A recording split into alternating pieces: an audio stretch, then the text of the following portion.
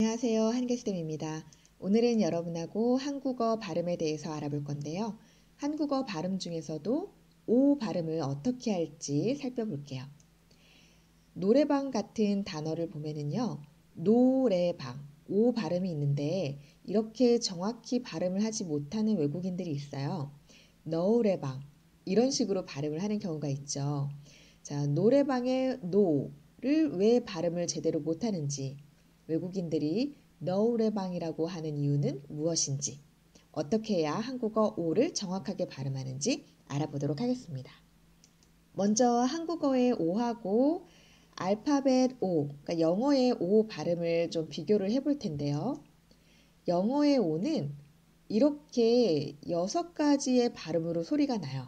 자, 이 중에서 한국 사람들이 발음하는 오, 어떤 오에 제일 가까울까요? 이 부분은 우리가 오로 인식하지는 않아요. 자, 이 경우에는 love, 요게 해당이 되겠는데 우리가 보통 어로 인식을 많이 하죠. 그래서 love, 어로 적게 돼요. 아에 가까운 어. 조금 더 아처럼 입을 크게 벌려서 어 발음을 하는 거죠. love 이런 발음이에요.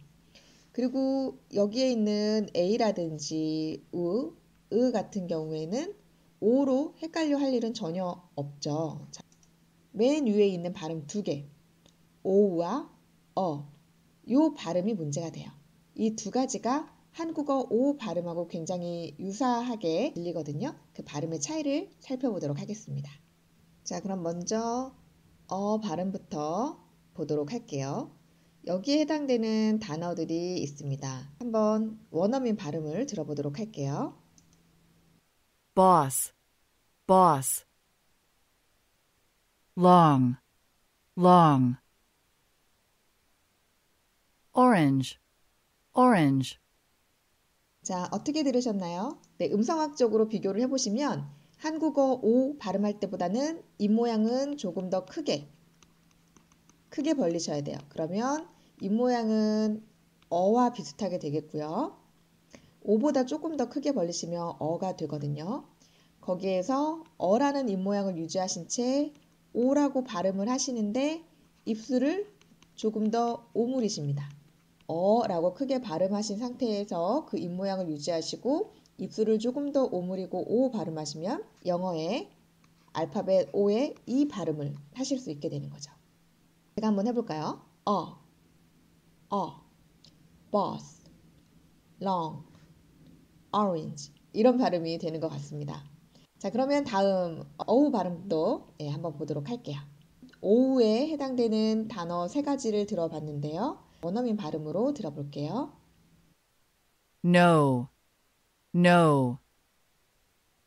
go, go. home, home. 오우 발음은 어떻게 들으셨어요? 하나로만 소리가 나는 게 아니라 오도 있고 우도 있어요. 자, 그런데 이게 오, 우 이런 발음은 또 아니에요. 우로 끝나는데 이 우가 중간에 이렇게 사라져 버리는 그런 느낌으로 발음이 되고 있죠. 예, 어쨌든 오하고 우가 예, 발음이 됩니다. 대부분의 알파벳 오는 이런 발음이 된다고 합니다. 자, 정리를 하면 한국어 오 발음하고 여기 있는 알파벳 O 발음하고는 같지 않다라는 거예요. 대부분의 알파벳 O가 O로 발음이 되기 때문에 여기에서 외국인들이 한국어 O도 어로 발음을 하게 되는 거죠. 한번 한국어 발음을 어떻게 하면 좋을지 어, 외래어를 가지고 비교를 해볼게요. 자, 살펴볼 단어는요. 오렌지, 로스쿨, 노트, 톤 이렇게 있어요. 들어보도록 할게요. orange, orange. law, law. note, note. tone, tone. 자, 오렌지, 로스쿨, 노트, 톤. 한국어 외래어 발음하고 영어 발음이 다르죠. 알파벳 O가 어로 발음이 되고 어우로 발음이 되기 때문에 한국어 오하고는 발음이 다릅니다. 자, 여기서 잠깐 외래어 표기 부분을 말씀을 드리면 다음에 기회가 되면 다시 또 알아보는 시간을 가질게요. 발음 오우라고 발음을 한다고 해서 이거를 오우로 표기하지 않아요. 그래서 노트를 노우트 이렇게 표기하지 않죠. 노트라고 표기를 합니다. 보트도 마찬가지예요. 이렇게 표기하지 않고 보트라고 표기를 하지요. 한국 사람한테는 오우라기보다는 그냥 오로 인식이 되는 것 같아요. 자, 여기서 눈치채신 분들은 아시겠지만 이 부분이 알파벳 O가 아니죠. 근데 이 부분을 제가 예로 제시를 할까 말까 고민을 했었는데 어 발음하고 오 발음의 차이를 좀 잘 보여주는 예가 될 것 같아서 제시를 해봤어요. 자, 이런 단어가 있습니다. AW인지 OW인지 이 철자는 보지 마시고 이 부분이 이 부분이 어떻게 발음이 된다? 어로 발음이 되고 어우로 발음이 된다. 그래서 이 둘이 단어 뜻이 달라지죠. 여기서 기억을 해야 될 게 뭐냐면 한국어로 오로 인식이 되는 아이들이 영어에서 어 발음이나 어우 발음으로 된다는 거예요. 그래서 한국어 오를 제대로 발음을 하지 못하는 외국인들은 오 발음에서 우를 빼고 발음하셔야 되고요. 어 발음에서 입을 조금 더 작게, 입술을 덜 둥글게 오므리셔야 된다는 거죠. 그래야 한국어 오 발음이 나옵니다. 잘 이해가 되셨나요? 그럼 한번 이두 발음의 차이를 들어볼까요? law, law, low, low, 네, 둘의 차이 잘 느끼셨죠? 한국어 발음하고 영어 발음하고 다르기 때문에 음성학적인 차이를 조금 이해하고 발음하시면 훨씬 원어민에 가깝게 발음을 하실 수 있을 것 같아요.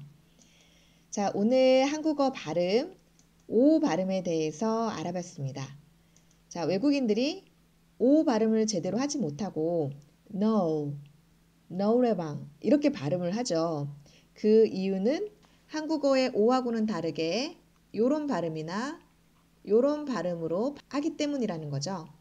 그래서 어 이렇게 발음되는 거는 빼주시고 조금 더 입을 작게 벌리고 입술을 덜 오므리고 그 상태로 오 발음하면 한국어의 오에 가깝게 발음을 하실 수가 있습니다. 노래방 아니고요. 노래방 이렇게 발음을 하시면 되겠죠. 오늘 한국어 발음 오 어떻게 들으셨나요? 한국어 오와 영어 오의 발음의 차이 잘 이해하시고 정확하게 한국어 발음을 하실 수 있기를 바랍니다. 자, 그럼 다음 시간에 또 재밌는 이야기를 가지고 찾아올게요. 여러분 안녕.